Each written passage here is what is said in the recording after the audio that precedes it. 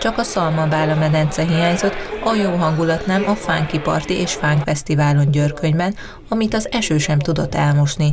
A rendezvényt a Fiatalok Egymásért Egyesület indította el, azzal a célral, hogy lehetőséget biztosítson a helyi és környékbeli fiataloknak a nyári szórakozásra.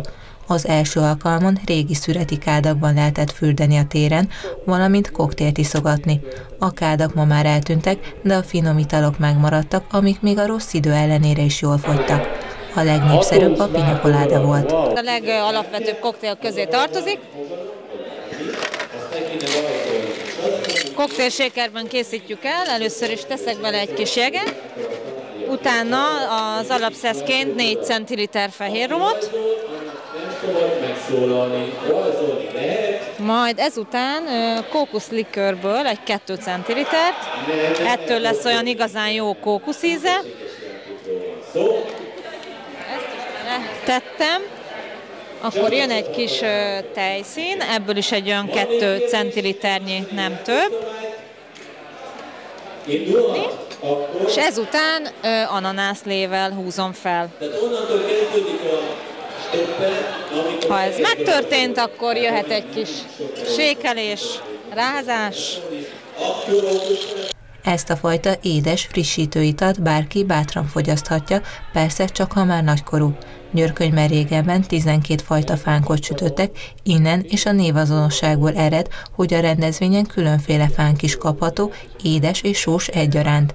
Idén 30 kg lisztből készültek a finomságok, amik most is hamar elfogytak. Nem ilyen időjárásra számítottunk, az biztos, de, de nem adjuk fel. Mindenféleképpen a Gyöngyvirág tánccsoporttal készítjük. A rendezőség részéről felkérés jött, hogy segítsünk a rendezvény lebonyolításába, és mi nagyon szívesen magunkra vállaltuk a, a fánksütést.